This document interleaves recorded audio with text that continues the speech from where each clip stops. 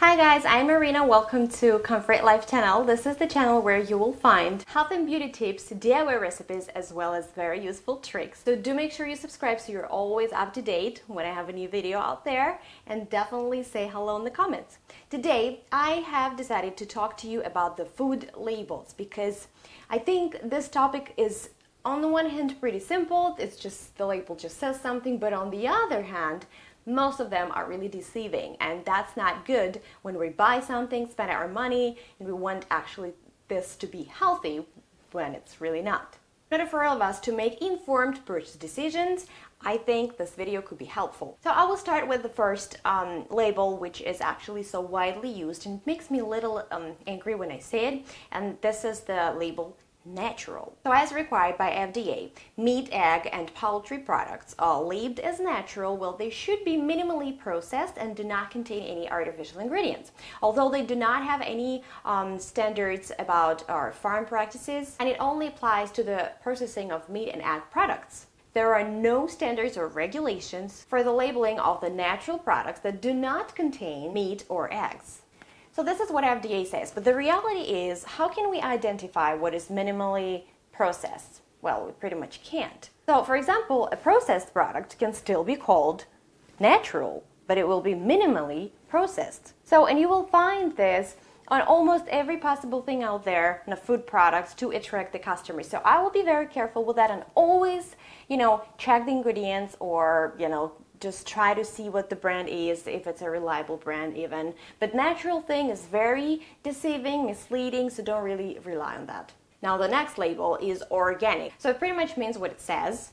It means that no synthetic fertilizers, sewage sludge, or radiation may be used also, it means that a food or other agricultural product that has been produced through approved methods that integrate cultural, biological, and mechanical practices that foster recycling of resources promote ecological balance. Well, actually, everything is simple with this explanation, right? But sometimes it gets really tricky when you see the labels like 100% organic or made with organic ingredients. So in this case, I would also again advise you to actually read the ingredient list if that's something that, let's say, um, it's not an apple, right? Organic apple, it's pretty simple, right? You just go ahead and buy it. But if there's there's some food that was made with organic ingredients, whether or not they all were organic, it's for you to decide. You need to read the ingredient list. Another term is humane. Really stay away from everything that says humane. It doesn't even mean anything because there is no standard definition. Humane is simply a vague term which is, you know, which has been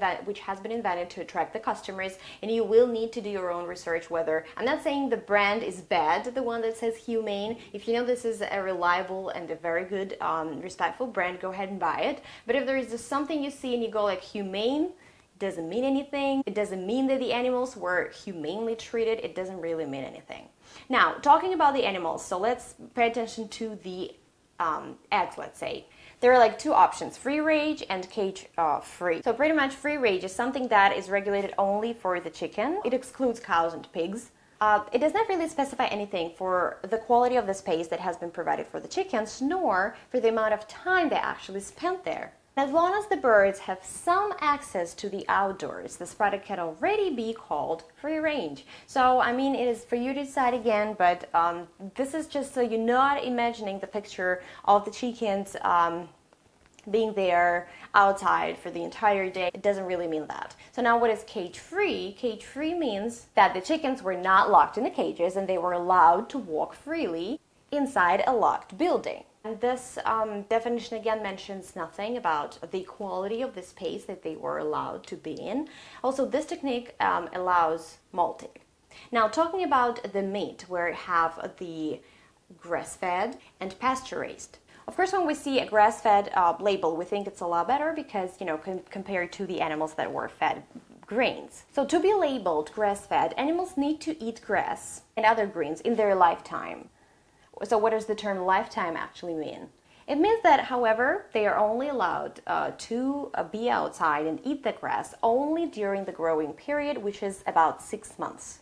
Like in some states, uh, that's, uh, that's the term, six months. Also, the USDA here does not really clearly identify what are the indoor conditions that they are being kept.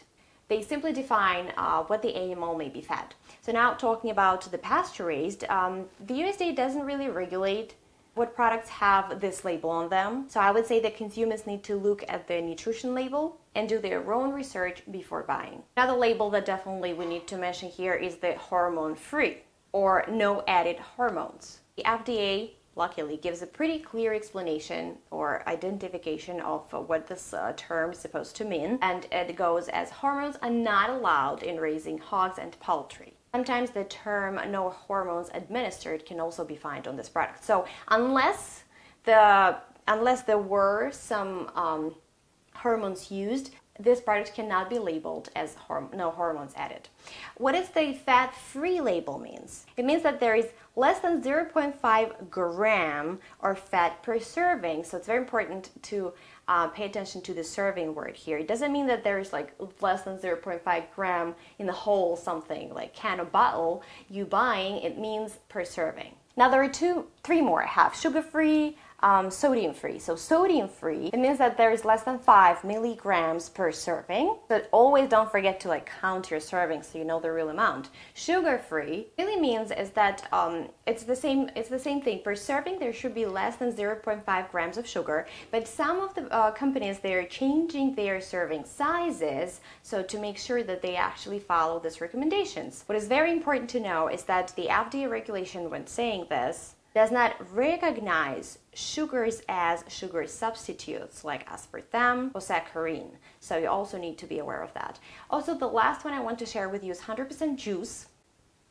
Well, this is a very interesting term. 100% juice means that whatever is there has been made from 100% juice, so everything was juiced, right? But it doesn't really necessarily mean that if you're buying uh, 100% pomegranate juice, it will be 100% juice, but they might contain some other juices, not only pomegranate. There was actually Supreme Court case, POM Wonderful um, versus Coca-Cola, when they were selling pomegranate blueberry juice, like labeled 100% juice, but in fact, contained only 0.3% of our pomegranate juice, I believe, and 0.2% of uh, blueberry juice, right? Well, technically, it's all 100% juice, but it was only made from cheaper ingredients like apples or grapes. So it, it, this way, they were actually violating another act that um, it says that whatever statement on your product you, you say, you cannot give false or misleading information. Another one um, talking about sugar is no sugar added. It means that, well, while diabetics uh, can um, rely on the products with this label, it doesn't mean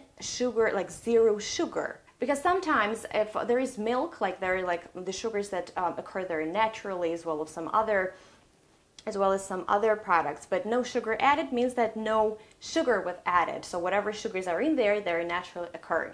So guys, these are the labels that we most commonly see um, right now on the products. If you have any other labels that you want to have more information about, just uh, write them in the comments below. I make another video providing you with more information. So I also think that um, this information is extremely important because you know, these are the companies that want to sell their products, and we are the consumers, so we will eventually buy them, right? If we see all those beautiful things that are said on it. Well, um, talking about non GMO verified, um, maybe I'll make another topic on that because they want to make some uh, new regulations on that, which would mean that. Um, probably it's not really the best bet, you know, if you sometimes choose that instead of organic because it's a little bit more affordable. Bottom line here is that there are tons of different labels on the products and you do need to do your own research because um, blindly trusting um, this type of things is is not wise and this also concerns supplements um, like really a lot because almost one in four supplements doesn't really contain what the label promises you. So it's also a very important um, topic out there. So guys, I think this video has been informative. Now you know a little bit more about the products that you buy every single day. And uh, if you have any questions, please let me know. I wish you to have smart shopping, really smart shopping that would save the money and improve your health, you know, really improve it. And I wish you to stay very happy, of course, and I'll see you in my next video.